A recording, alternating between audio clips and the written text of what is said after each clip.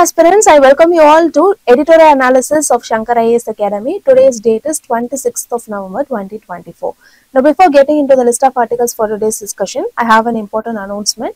It is regarding our pre-swimming test series. It is starting today, but the orientation for the test has already started on 21st November 2024. So if you have not enrolled for this particular test, you can click the link in the description and you can enroll for this particular test.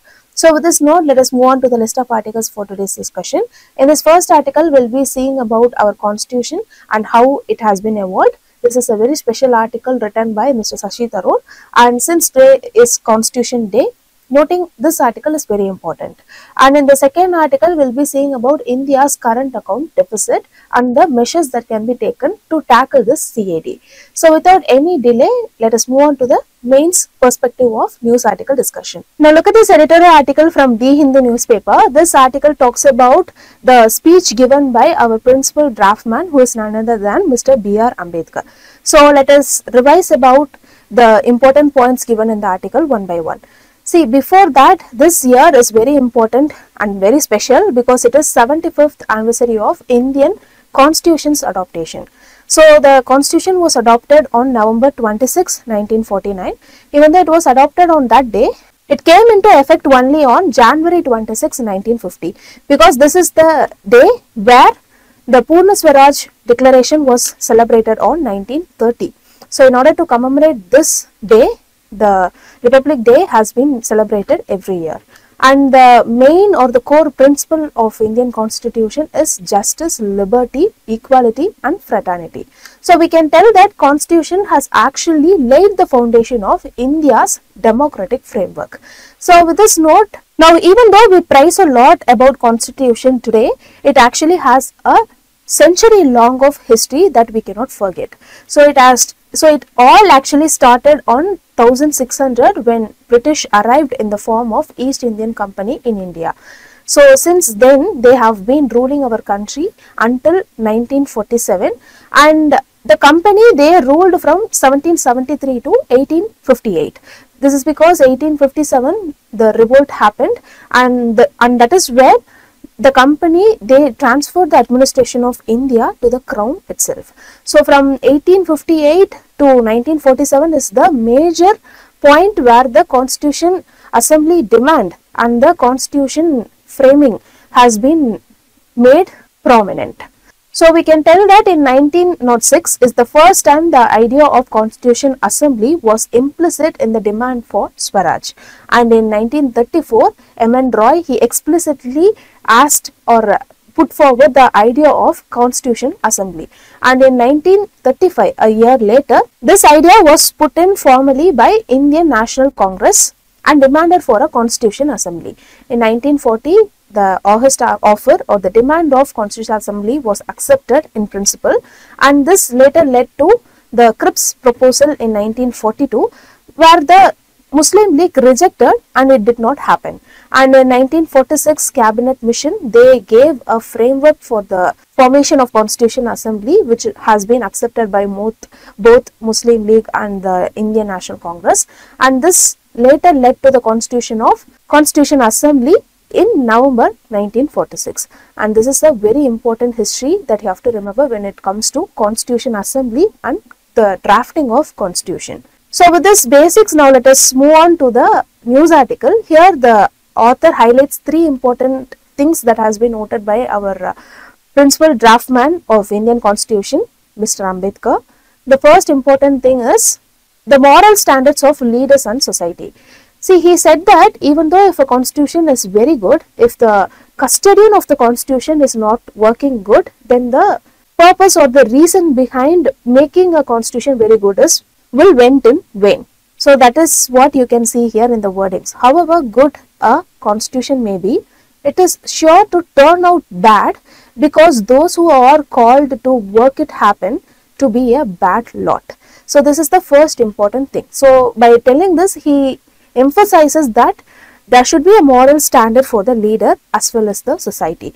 Secondly, he talked about the interdependence of principles. See, firstly, he said about the liberty without equality. So, remember, if there is a society, just imagine if there is a society and in the society there is liberty and there is no equality. So there is a particular hierarchy uh, where uh, a particular people should be very lower. So if this inequality is there but there is liberty then there will be dominance of few and in the same society if there is equality without liberty then it will lead to oppression or the suppression of initiatives. So in order to tackle both we need fraternity or the brotherhood. This will sustain liberty and equality and also bind the society. So the third important thing that he talked about is the caste inequality. See there has been given reservation that too temporarily for certain oppressed communities. But he actually advocated for caste annihilation, annihilation in the sense complete eradication. And he opposed permanent caste-based hierarchy. This is because he felt that the caste division actually hinders equality and unity. So these are all the three important things that you have to note with respect to this particular speech. Firstly, the moral standards of the leaders. Secondly, uh, caste inequality. Thirdly, the lacunae. Lacuna means a gap. So this gap can be filled by fraternity. So you can make note of these three points and you can even use it in the mains answer writing. So having seen this, now let us move on to the current challenges even after 75 years later. See the first thing is the limited progress. There is persistent social and economic inequality even today. And the main reason behind this is the colonial era. I'm insisting this because this colonial era actually gave a lot of rights to the landlords and synthetically they actually maintained the inequality to be persisting in the society in order to have their personal gains. The second important issue is the fraternity fragility. See, there are identity based politics that is actually weakening the cohesion. Now, even though there are a lot of provisions against, against hate speech and polarizing the population, there actually exist identity-based politics and there is also caste-based politics. Many political parties, they actually advocate for reservation for particular community and through that they try to grab the vote bank in a particular region or within a particular community. This is actually causing or leading to political discourse. And the unsolved inequality also drive to newer demands. And both this divisive politics actually erode public trust on the institution, especially our parliament, judiciary and executives. So even they are facing criticism in the current scenario. And there are also identity politics and institutional erosion that is challenging our constitution ideals. So in order to rectify this important challenge, we have to focus a lot on ethical governance. And this can be done by two important people firstly citizen and secondly leadership. So the leaders they should be ethical and they should be responsible. And citizens they should also defend justice equality and the fraternity. They should be citizens should have apathy towards political misuse and thereby they should defend the justice equality and fraternity. So by combining both the leadership ethical leader and the active citizenship, we can uphold constitutional values. Apart from this, there are certain recommendations that has been given in the article. Let us see them one by one. Firstly, the revival of constitutional values. We have to strengthen democratic institutions, especially our parliament, especially our judiciary and executives. And we have to promote fraternity through education. Secondly, we have to address social inequality. This should be beyond identity politics and it should focus on economic inclusivity. So whenever there is an upper hand in economy, any kind of social inequality can be overcome. So we should focus on economic inclusivity. Thirdly, we should protect our freedom. We should ensure healthy debates and we should also safeguard our constitutional freedoms. So these are all important recommendations and lessons that can be undertaken in order to uphold the constitutional values. So this is what the entire article is about. Now I have a mains question for you. Let me read out the question. Starting from inventing the basic structure doctrine, the judiciary has played a highly proactive role in ensuring in ensuring that India developed into a thriving democracy. In the light of the statement, evaluate the role of constitution in holding India as a whole. So it is a 15 marker for 250 words. You can write the answer in the comment section and post it. We will, we will also review your answer. So with these learned points, now let us move on to the next news article discussion. Now look at this news article. As the title itself hints, this article talks about India's current account deficit and how the current account deficit actually reflects the strength of India's service sector. So it actually discusses the link and to know that link you have to know about the basics of the current account deficit. So we shall see that in the news article discussion. Before that I have a mains question for you. Let me read out the question. India's current account deficit CAD is both a challenge and an opportunity for economic growth. Discussed in the context of India's trade and investment policies. See this is a 15 marker question for 250 words. So you can write an answer and post it in the comment section. We will be reviewing your answer. So we shall move on to the components of BOP or the balance of payment. So this balance of payment actually has two accounts. One is the current account and another, another is the capital account. Here current it actually means uh, the account for which the day to day expense or the day to day revenue actually happens. But for the capital it actually means something long term, right?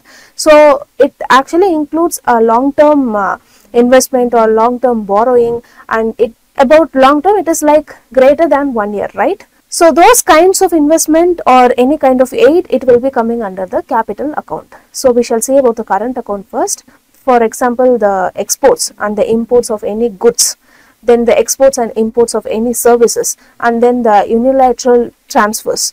Unilateral transfers is like uh, payment uh, or the remittances that we receive from a Gulf country or any other particular country and there are income receipts and payments. It is nothing but the earning or the spending of a particular business or a government that takes place in a day-to-day -day basis.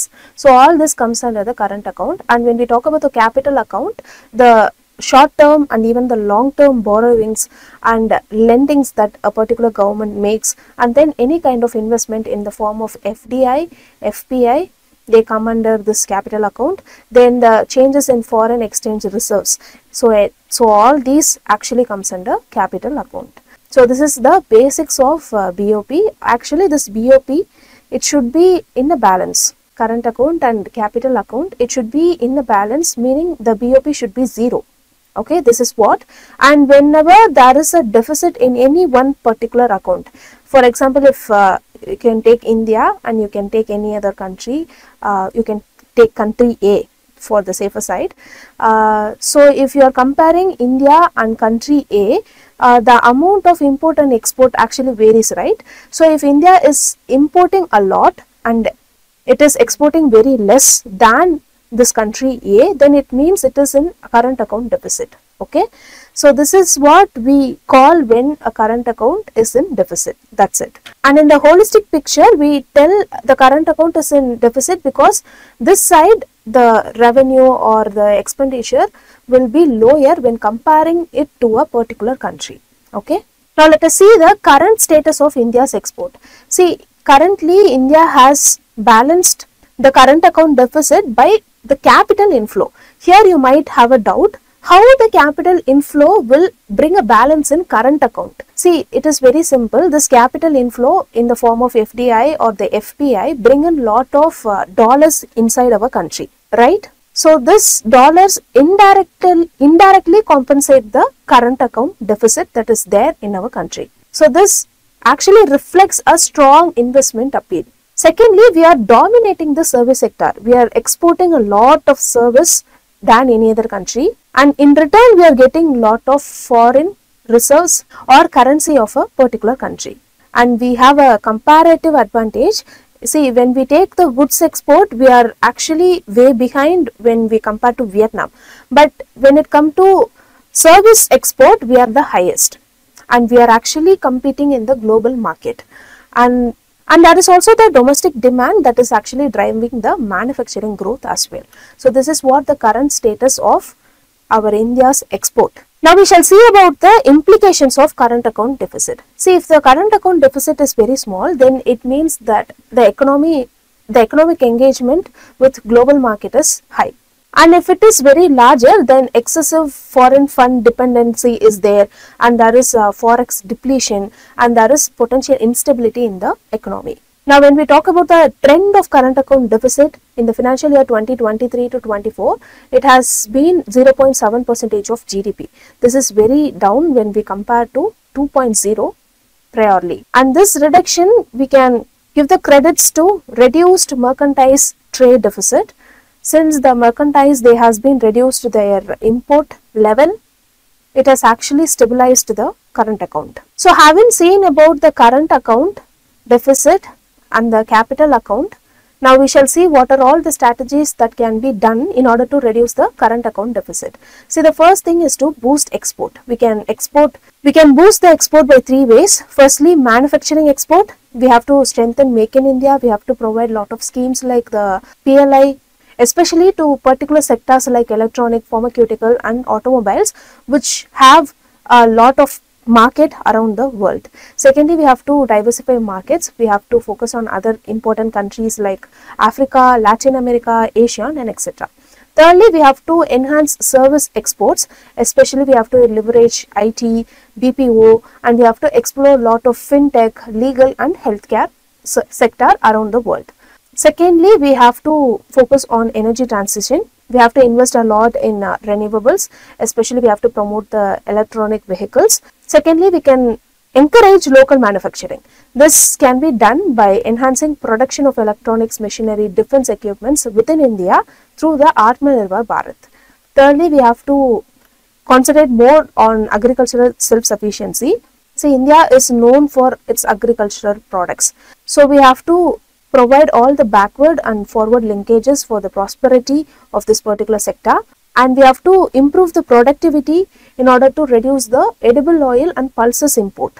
This actually constitute the highest share when it comes to importing from another country. Thirdly, we can attract a lot of foreign investments. Just now we saw that FPI and FDI has actually stabilized current account, right? So we can bring in lot of FDI by focusing on infrastructure, defense and technology and by and when it comes to FPI, we have to maintain the macroeconomic stability and we have to bring in investor friendly climate. Finally, we have to bring in efficient resource management and for this we have to promote digital gold alternatives and we have to bring tax, tax incentives in order to reduce the gold imports and secondly we have to focus on energy efficiency and we have to adopt energy saving technologies in order to cut the crude oil imports. So these are all very important facts that you have to remember when it comes to current account. So so far we saw about the BOP. In this BOP we saw there are two different accounts current account and a capital account. So when there is a deficit in current account we call it as current account deficit. So this current account deficit can be uh, altered or can be stabilized by a lot of measures we saw about them. Now before ending the news article discussion, I have another announcement. It is regarding our October 2024 editorial analysis monthly marathon. It has been already posted in our YouTube. If you have not viewed it yet, you can view it in our YouTube channel. So with this, we came to the end of the news article discussion. If you like the video, hit like, do comment and don't forget to subscribe to Shankar IAS Academy YouTube channel. Now thank you so much for listening.